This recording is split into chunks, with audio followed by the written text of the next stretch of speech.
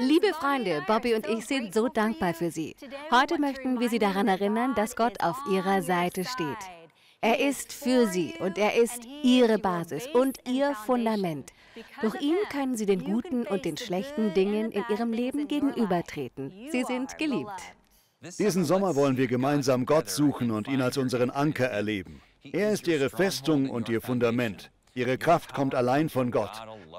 Wenn Sie Ihr Leben darauf ausrichten, ein Licht der Welt zu sein und Menschen zu helfen, werden Sie spüren, wie Gott durch Sie fließt. Sie werden neue Stärke bekommen. Verankern Sie sich in Gott und Sie werden Ruhe finden. Im Brief an die Philipper Kapitel 4, Vers 6 steht, Macht euch keine Sorgen. Ihr dürft in jeder Lage zu Gott beten. Sagt ihm, was euch fehlt und dankt ihm.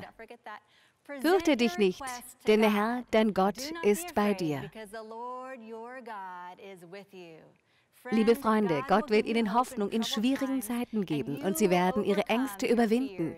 Er ist auf ihrer Seite, also verankern Sie sich in Gott. Dies ist die Hoffnung des Evangeliums und es ist die Botschaft, die jeder Mensch braucht.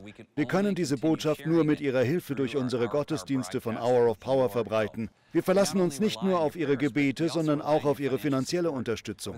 Unser Ziel ist es, in den nächsten vier Monaten 1000 Freunde zu finden, die jeweils 100 Euro spenden. Wenn Sie sich entscheiden, uns auf diese Weise zu unterstützen, werden Ihre Spenden mit dem Vermerk Verankert in Gott as Hour of Power ermöglichen, Gottes unerschütterliche Liebe Ihnen und Millionen anderen Menschen weiterhin zu verkünden.